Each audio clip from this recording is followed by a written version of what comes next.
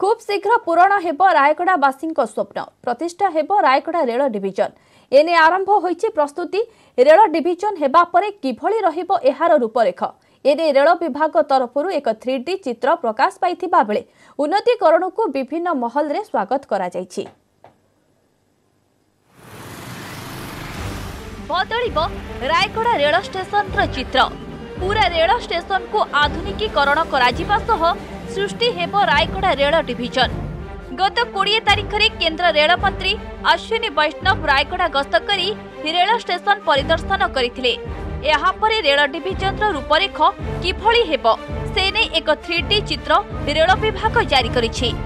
ରେଳ ଡିଭିଜନ ପାଇଁ ମୋଟ ତିନିଶହ ଅଶୀ କୋଟି ଟଙ୍କା ଖର୍ଚ୍ଚ ହେବ। ନିର୍ମାଣ କାର୍ଯ୍ୟକୁ ତ୍ୱରାନ୍ୱିତ କରିବା ପାଇଁ ରେଳବାଇ ବୋର୍ଡ ପ୍ରଥମ ପର୍ଯ୍ୟାୟରେ ଶହେ ସତୁରି କୋଟି ଓ ଦ୍ୱିତୀୟ ପର୍ଯ୍ୟାୟରେ ବଳକା ଦୁଇଶହ ଦଶ କୋଟି ଖର୍ଚ୍ଚ କରିବ। ରେଳ ବିଭାଗର ଏଭଳି ଉନ୍ନତିକରଣ କାର୍ଯ୍ୟକୁ ବିଭିନ୍ନ ମହଲରେ ସ୍ୱାଗତ କରାଯାଇଛି। ସେ ତାଙ୍କ ଗସ୍ତ ସମୟରେ ନିଜେ ଯାଇକି ପିଆର୍ଏମ୍ ଅଫିସ୍ ଯେଉଁଠି ହେବ ସେଠି କାମ କେତେ ଦୂର ଚାଲିଛି ତା ତଦାରଖ ଯେଉଁ ଭାବରେ କରିଥିଲେ ତାହା ରାୟଗଡ଼ାବାସୀଙ୍କର ଆଶା ଓ ଆକାଂକ୍ଷାକୁ ଆହୁରି ମଜବୁତ କରିଥିଲା।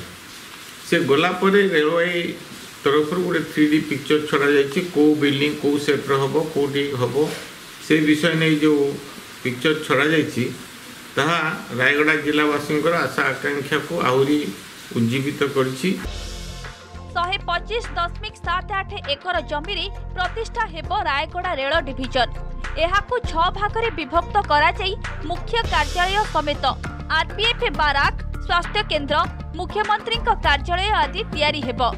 ରାୟଗଡ଼ା ରେଳ ଡିଭିଜନର ସୀମାରେଖା ଛତିଶଗଡ଼ର କିରାଣଢୁଲ ଠାରୁ ଆନ୍ଧ୍ରପ୍ରଦେଶ ବିଜୟନଗରମ ପର୍ଯ୍ୟନ୍ତ ରହିବ। ଓଡ଼ିଶାର ଗଜପତି ରାୟଗଡ଼ା ଓ କୋରାପୁଟ ଜିଲ୍ଲାରେ ଥିବା ରେଳପଥ ଏହି ରେଳ ଡିଭିଜନ ଅଧୀନରେ ରହିବ। ପ୍ରାୟ ପାଞ୍ଚଶହ ଷାଠିଏ କିଲୋମିଟର ରେଳପଥ ଏହି ଡିଭିଜନ ଅଧୀନରେ ରହିବ। ଏଇଟା ଗୋଟେ ରାୟଗଡ଼ାବାସୀଙ୍କ ପାଇଁ ଗୋଟେ ଶୁଭଚିନ୍ତକ। ସେମାନେ ଭାବିଲେ ଗୋଟେ ବିଶ୍ୱାସର ନେଲେ ରେଲୱେ ବିଭାଗ ଯେ ଆମର ରାୟଗଡ଼ାରେ ଗୋଟେ ବାଜ୍ୟରେ ଗୋଟେ ଡିଭିଜନ ହେବାକୁ ଯାଉଛି।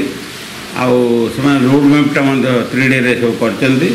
ରେଳମନ୍ତ୍ରୀ ମାନ୍ୟ ଅଶ୍ୱିନୀ ବୈଷ୍ଣବଜୀଙ୍କ ରାୟଗଡ଼ା ଜିଲ୍ଲାର ଏକଦିନିଆ ଗସ୍ତ ପରେ ରେଳ ଡିଭିଜନ ସମ୍ପୂର୍ଣ୍ଣ ରୂପରେ କାର୍ଯ୍ୟକାରୀ ହୋଇଗଲା ଭଳିଆ ଅନୁଭବ ହେଲାଣି। ଗତ ଦିନମାନଙ୍କରେ ଯେଉଁ ଥ୍ରୀ ଡି ପିକ୍ଚର ଗୋଟେ ଡିଭିଜନ ଆଡ଼ୁ ଜାରି ହେଇଛି ଏଇଟା ଗୋଟେ ସବୁଜ ସଂକେତ ମିଳିଛି। ରେଳମନ୍ତ୍ରୀ ମଧ୍ୟ ଏଠି ସମସ୍ତଙ୍କ ସାମ୍ନାରେ କହିଥିଲେ ଯେ ରେଳ ଡିଭିଜନର କାମ ତ୍ୱରାନ୍ୱିତ ହେବ। ରାୟଗଡ଼ା ରେଳ ଡିଭିଜନ ହେବା ପରେ ଜିଲ୍ଲାର ଏବଂ ସହରର ସାମାଜିକ ଓ ଅର୍ଥନୈତିକ ଅଭିବୃଦ୍ଧି ହେବ। ରାୟଗଡ଼ାରୁ ଗଜମୋହନ ଗରଡ଼ିଆ ନ୍ୟୁଜ୍ ଏଇଟିନ୍ ଓଡ଼ିଆ।